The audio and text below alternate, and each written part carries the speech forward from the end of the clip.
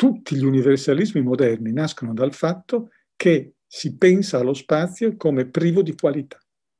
E dunque vi sono alcuni vettori della nostra civiltà che possono irradiarsi indisturbati in tutto il mondo. Questi vettori sono beh, la scienza, la tecnica, l'economia capitalistica, la morale, il diritto. Con questa idea di spazio, di tempo, si metabolizza la scoperta dell'America, non si metabolizza la guerra civile di religione. Ma prima di arrivare a questo, che è la modernità, cioè una politica fondata sopra un altro spazio e un altro tempo, eh, merita una osservazione invece, concezione dello spazio in Machiavelli. Caso, anche sotto questo punto di vista, si rivela la curiosa posizione di Machiavelli, la inedita posizione di Machiavelli, non più cristiano, non ancora moderno. Mm, diciamo meglio, perché dire non ancora sembra che gli manchi qualche cosa. Certo, gli manca qualche cosa sotto il profilo empirico, gli manca l'esperienza delle guerre civili delle regioni in Europa, gli manca per il buon motivo che eh, muore prima.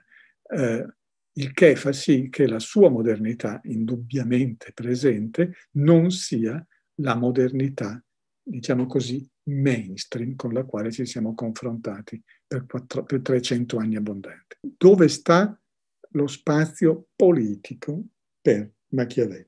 Nel pullulare di forme politiche post-imperiali, post-romane, post-imperiali, che eh, hanno dimensioni prima, dapprima piccole e poi via via crescenti, il che per lui è un problema, perché quanto più diventa grosso lo Stato, tanto più può fare, è un modo di ragionare curiosissimo, eh, può fare eh, la guerra senza correre un rischio esistenziale e quindi può fare guerra affidandosi alle milizie mercenarie cosa gravissima perché tecnicizza e depoliticizza la guerra.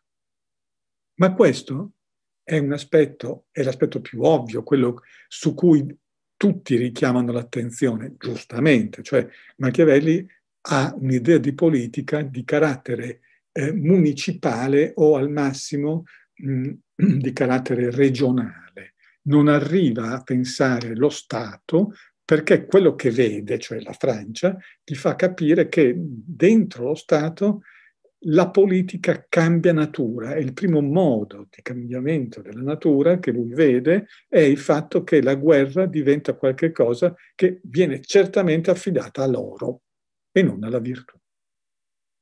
E quindi lo Stato fa guerra in modo tecnico e non politico. Lo spazio è nemico, quindi, della politica, intesa come esercizio della virtù che è anche esercizio in prima persona della guerra. Mentre la cosa su cui voglio richiamare la vostra attenzione è che per Machiavelli esiste uno spazio politico, uno spazio intrinsecamente politico. Mentre lo spazio dello Stato è uno spazio tendenzialmente non politico, è troppo grande, insomma, esiste uno spazio politico che è eh, là dove Machiavelli parla della caccia. Ecco. Sembra incredibile, ma è la caccia quella che costituisce la trama dello spazio politico secondo Machiavelli. Lo trovate nel quattordicesimo capitolo del Principe, lo trovate nei discorsi capitolo 39 del terzo libro. Che cos'è la caccia? È l'addestramento che il principe deve fare su se stesso per essere in grado di interpretare il territorio dal punto di vista militare. Il principe va a caccia sia per rafforzare il corpo, poi perché la caccia è lo sport nobiliare, sì certo, ma va a caccia perché in questo modo conosce, impara a conoscere il territorio dal punto e, ecco, dal punto di vista della militarizzabilità del territorio. Dunque, questo grande anti-umanista, Machiavelli, nel territorio non vede i paesaggi dolcissimi di Perugino e di Raffaello. Vede se un certo fiume può essere guadato e dove, se un certo colle può essere superato da un esercito e come, se una certa pianura può diventare un campo di battaglia e dove è più utile schierare l'accampamento e organizzare le difese e gli attacchi. Lo spazio interpretato in vista della guerra. Eh, ipoteca nazionale che vedremo sarà propria dei geografi tedeschi dell'Ottocento che, costretti dalla conformazione geografica della Germania interpretano lo spazio in chiave politica perché non lo possono interpretare in chiave naturale, tanto la Germania non ha praticamente confini naturali. Senza quella preoccupazione di fissare lo spazio di una nazione, Machiavelli non ce l'ha, ma con la preoccupazione di fissare lo spazio che è in sé dequalificato come uno spazio utilizzabile dalla virtù politica in armi. Questo è qualcosa che è impressionante per la sua potenza concettuale, cioè qui non c'è più l'universalismo, non c'è più il tempo eh, del cristianesimo, c'è il tempo contratto della guerra e c'è lo spazio del conflitto.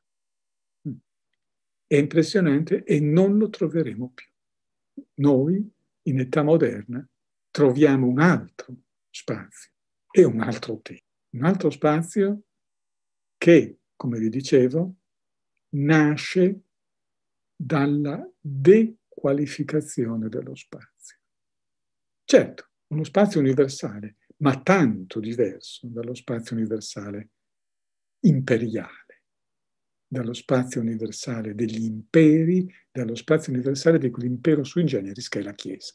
Uno spazio universale non pieno, ma vuoto, che è lo spazio di Hobbes, che è lo spazio di Locke. Come vedete, stiamo andando molto avanti, perché, ma perché siamo davanti a una rivoluzione concettuale della polica una rivoluzione concettuale che nasce dalla esigenza di uscire dalla, dal disgregarsi sanguinoso della spazialità tradizionale cristiana, che si disgrega sanguinosamente in più di cento anni di guerre civili in Europa dalle quali si apprende che Dio non è più il fondamento, ma è lo sfondamento, che Dio non è più il metro, la misura che dà ordine allo spazio e al tempo, ma è la causa del disordine più radicale, la causa della morte violenta. Ci vogliono più di cent'anni per trovare il modo per uscire da questa impasse angosciosa, cioè tutto ciò che abbiamo imparato per la nostra salvezza produce la nostra dannazione, la nostra sconfitta, la nostra morte. Le risposte intermedie, le risposte scettiche, Montaigne, sono ben comprensibili, ovviamente. E, lì, da Montaigne in poi, nascono le linee di pensiero libertino, scettico, che ci dicono che non c'è da credere più a nulla di quello che ci è stato insegnato. Ci insegnano il relativismo, Pensate al capitolo sui cannibali di Montaigne, una cosa impressionante. No, cioè, lo, loro saranno cannibali e noi che cosa siamo? Quali sono i nostri vizi i nostri peccati? Ciascuno ha i propri. Pensate al motto, un meridiano decide della verità. Però tutto ciò non fa ordine. Tutto ciò è la sconsolata presa di consapevolezza che c'è il disordine, che non abbiamo più né uno spazio né un tempo solidi su cui fare affidamento, che la politica è un inferno. E poi c'è invece la grande rivoluzione concettuale, proprio un modo diverso di pensare alla politica, che è il modo di che non è il modo di Machiavelli, troppo bello, è il modo molto più triste di Hobbes e di Locke. La politica moderna diventa una triste scienza, certamente, una triste scienza dell'ordine, un ordine che è spaziale, che è temporale. Cosa c'è dal punto di vista temporale? c'è uno svuotamento del tempo, non c'è la capacità, non c'è la capacità di dire eh, la partizione cristiana del tempo è insensata, nessuno avrebbe potuto dirlo, però c'è l'idea che il tempo ha certamente origine da Cristo, certamente si conclude con il ritorno di Cristo, ma quello che c'è in mezzo, ecco, è un vuoto, non è un pieno. Non ci sono garanzie, non ci sono sviluppi intrinseci. Ci dobbiamo arrangiare, cioè il tempo è un'epoca, senso proprio, una sospensione. Una sospensione del senso. Il tempo è privo di senso proprio, glielo possiamo dare noi. Ecco, glielo possiamo dare noi con la nostra civilizzazione. Ecco che dal tempo vuoto, dal tempo in cui c'è soltanto l'idea di un inizio, l'incarnazione, una fine, il ritorno del regno di Dio, e in mezzo non c'è nulla, in quel mezzo, in quella epoca, in quella sospensione, possiamo costruire qualche cosa, possiamo costruire il progresso politico, sociale, economico della civiltà. Se, se stiamo a certe regole tecnico-scientifiche, perché soltanto se stiamo a queste regole tecnico-scientifiche razionali, facciamo qualche cosa di diverso dall'ucciderci gli uni con gli altri per motivi religiosi. Solo a questo patto. Questo è il razionalismo politico moderno, con la sua idea di tempo. Esiste il progresso, ma il progresso esiste solo a patto che svuotiamo svuotiamo la, la narrazione cristiana di ogni contenuto ontologico. Ci accontentiamo di sentirci dire che c'è stato l'evento di Cristo, che ci sarà un nuovo evento, ecco, in mezzo, è in mezzo meno, meno eh, valori portiamo, meno pretese portiamo, meno idee portiamo, meglio è. Riduciamo le nostre aspettative, costruiamo con la ragione delle società politiche che hanno un obiettivo basso, l'obiettivo della conservazione della vita e dell'incremento dell'utile economico individuale e collettivo.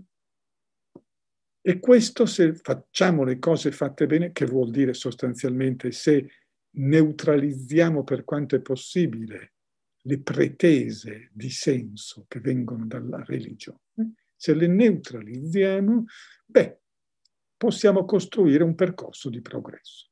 Tutto umano. Eh? Tutto. E lo spazio? Eh, ci dimentichiamo lo spazio pieno, ricco di miracoli, di mostri, ci dimentichiamo tutto ciò.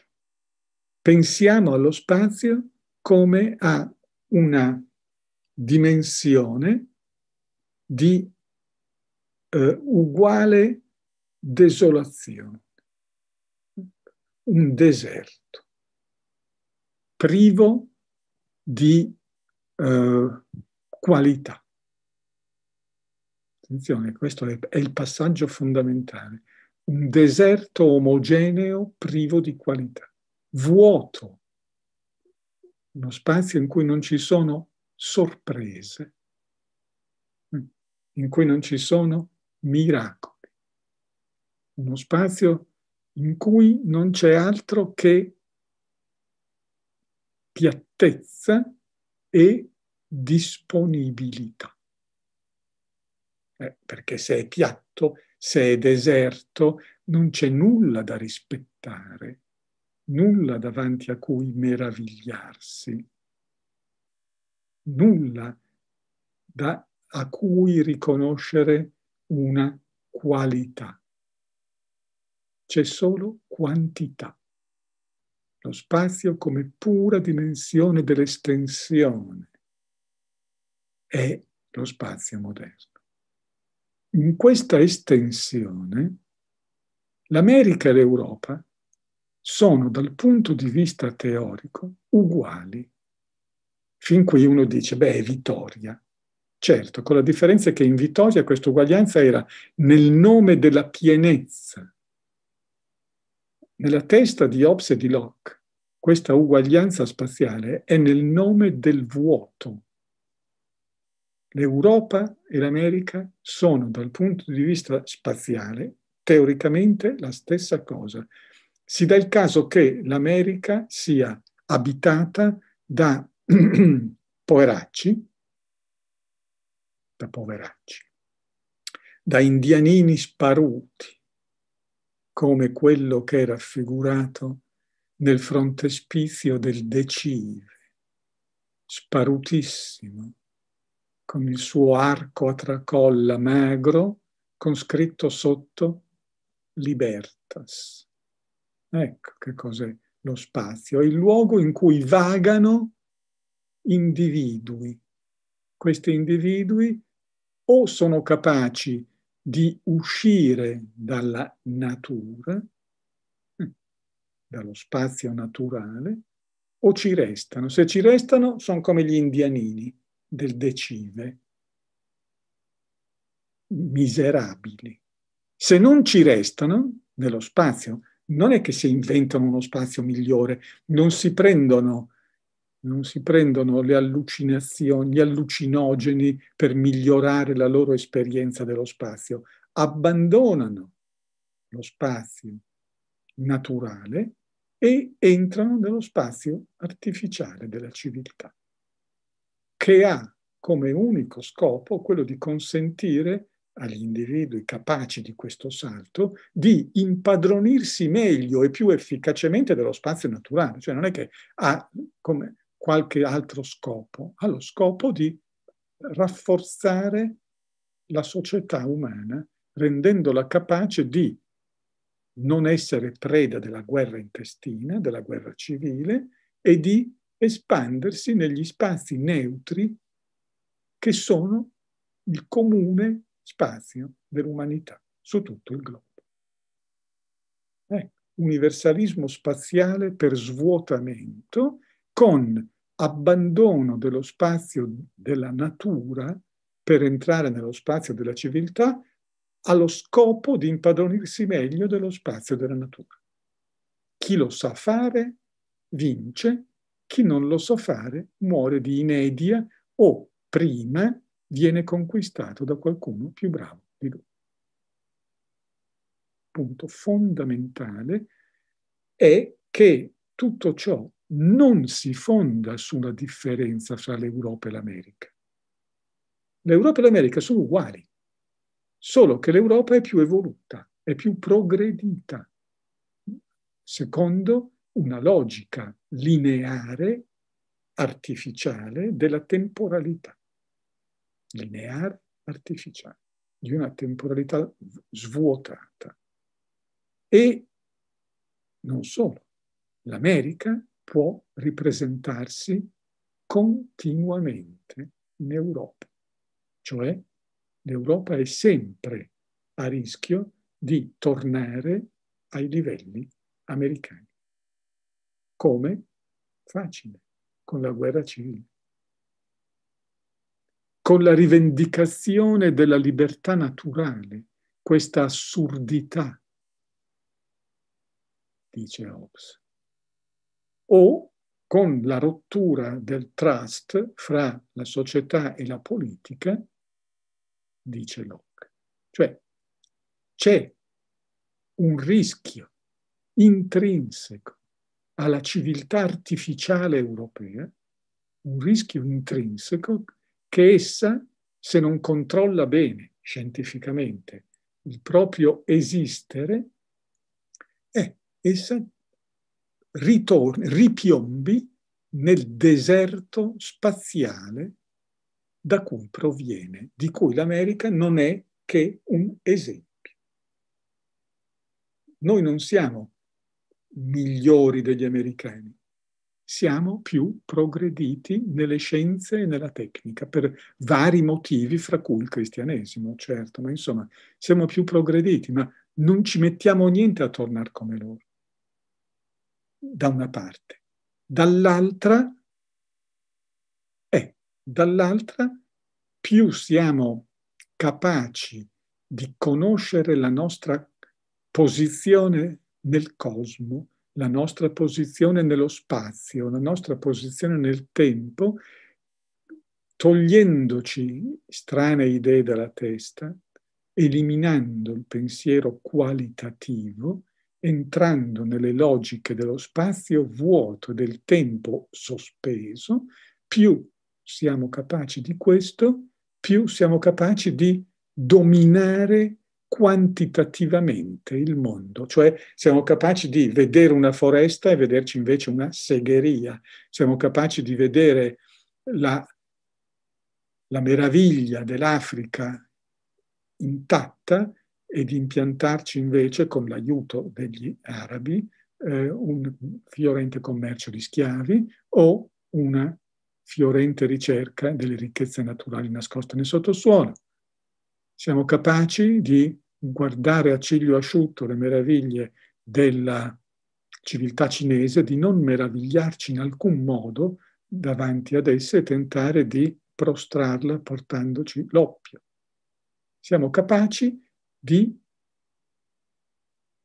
desolare il mondo e di conquistarlo, togliendo ogni differenza fra noi e loro e proprio perché col togliere le differenze fra noi e loro possiamo istituire una gara in un terreno completamente appiattito, ben battuto, una gara che saremo sicuri di vincere perché siamo più efficienti.